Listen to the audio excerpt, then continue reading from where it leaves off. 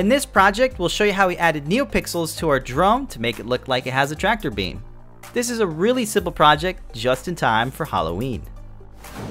All you'll need to build this project is an Adafruit trinket and a 24 NeoPixel ring. We designed and 3D printed a custom mount to attach to the landing gear of a DJI Phantom 4. We 3D printed the mount on an Ultimaker 3 using translucent nylon filament.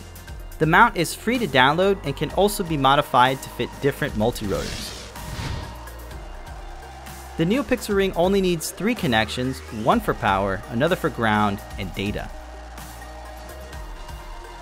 We attached the Adafruit trinket to the mount using machine screws. It's secured to the center and you can easily reprogram it once it's secured.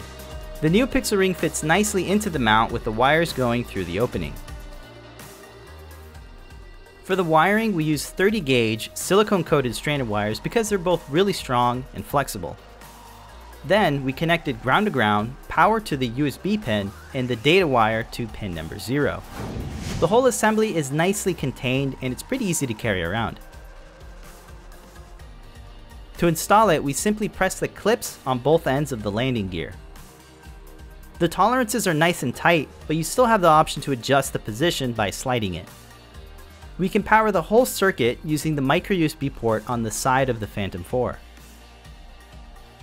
There's just enough clearance for the camera, but we made sure to position it away from the proximity sensors. The NeoPixel lights up immediately after turning the Phantom 4 on, and it actually doesn't affect the flight time, so it doesn't draw that much power. The LED animations are from the NeoPixel library, but you can write your own or customize them in the Arduino Sketch. We hope you like this project and be sure to check out the links below if you do want to build this.